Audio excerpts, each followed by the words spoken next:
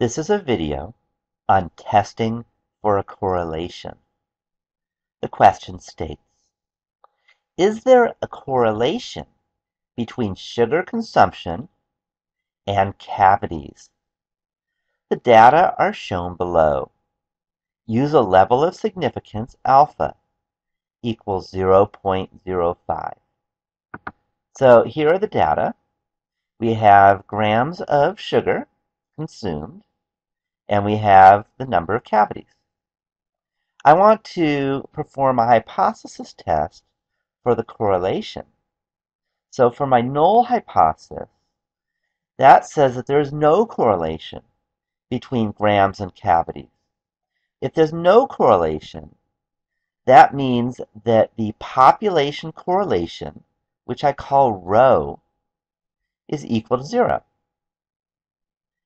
The alternative hypothesis is that there is a correlation. And if there is a correlation, then the population correlation rho is not equal to zero. So just like any hypothesis test, I need to find a p-value.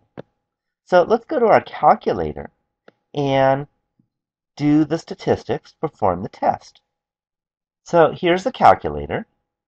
I want to enter the data in for grams and cavities. So I go to Stat, and then Edit. Let's clear out L1 and L2. And for L1, I will put the grams data in. So that's 38 and 45,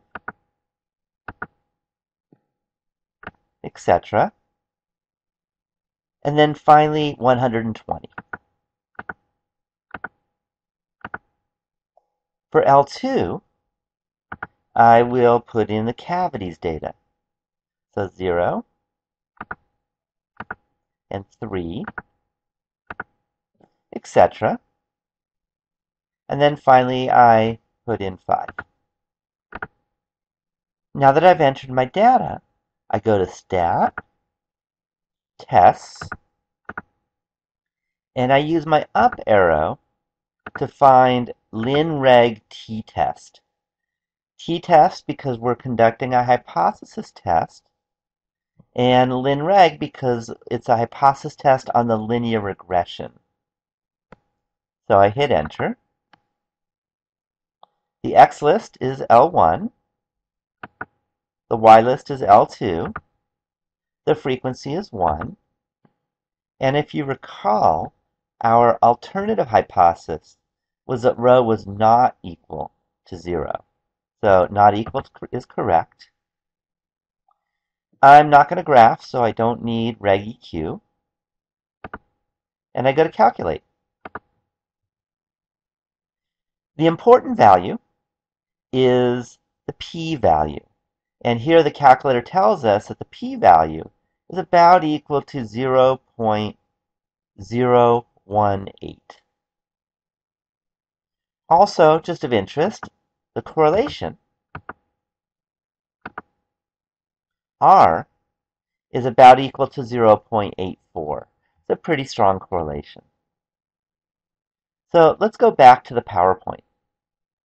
Okay, here's the PowerPoint, and recall that our p-value was about 0.018, and our correlation was equal to 0.84.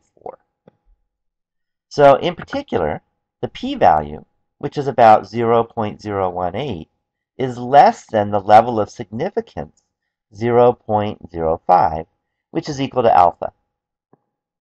So the conclusion when the p-value is less than alpha is that we reject the null hypothesis and accept the alternative hypothesis.